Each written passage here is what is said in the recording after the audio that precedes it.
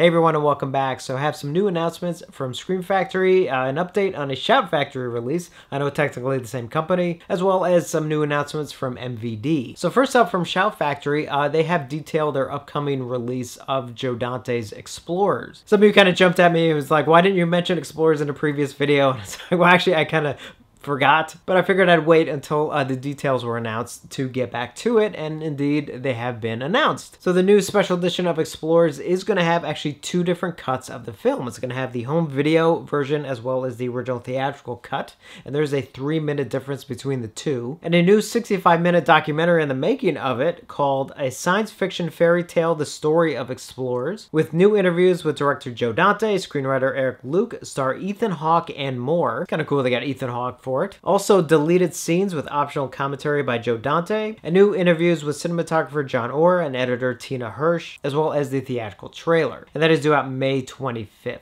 And Scream Factory has announced two new exclusive uh, titles in the Roger Corman line. Uh, the last two actually sold out pretty quick. First up is the 1972 film uh, The Big Bust Out. And it does have a new 2K scan from the original negative as well as the theatrical trailer. And the other limited edition is a uh, double feature, and that features uh, Amazons as well as Barbarian Queen. And each of those two films uh, both have deleted scenes as well as alternative alternative scenes as an extra as well as the trailer for each. And be advised that both of these releases are indeed Region A, and I believe um, Shout Factory does only ship within the US, so just as a heads up on that. And both of these are in fact limited to 1,000 each. And next up, uh, Factory has also announced the details for their upcoming releases of uh, The Hand, Eyes of a Stranger, and He Knows You're Alone. So first up for The Hand, uh, that is going to have a new 2K scan from the interpositive, a new interview with director Oliver Stone, a new interview with actor Bruce McGill, a new interview with actress Andrea Marcovici, a new interview with producer Edward R. Pressman and actress Annie McEnroe Pressman, as well as an audio commentary with director Oliver Stone and the theatrical trailer. Eyes of a Stranger also has a new 2K scan from the interpositive, as well as some new interviews, including Turning the Tables, an interview with director Ken Wiederhorn, Sunshine State Stalker, an interview with actor John DiSanti, Master Slashers, an interview with special makeup effects artist Tom Savini and Dean Gates, as well as an audio interview with composer Richard Einhorn and actor Peter Dupre. A new audio commentary with genre film critic Justin Kerswell and film historian Amanda Reyes. A rare original theatrical trailer as well as a still gallery. And then finally for He Knows You're Alone that is uh, getting a new 2K scan uh, from the original interpositive.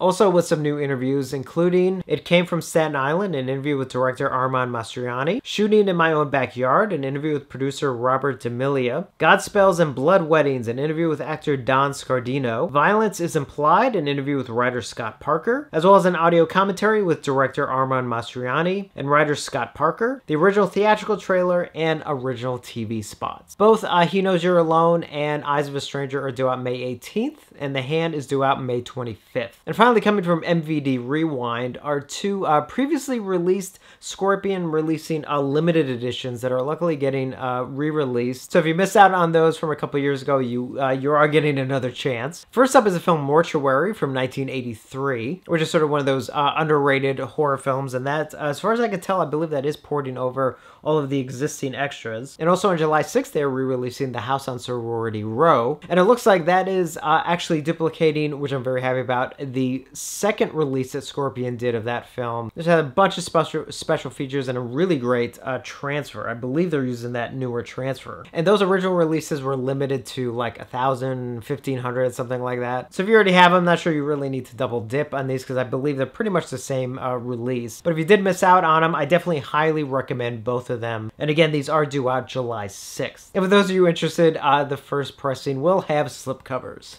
so we just want to give you the update on those releases. I know there's a lot more I need to get to, as well as a lot more reviews and a lot more stuff. Uh, there's a lot I need to get to. But definitely let me know your thoughts. And as always, thank you for watching, and I will see you on the next one.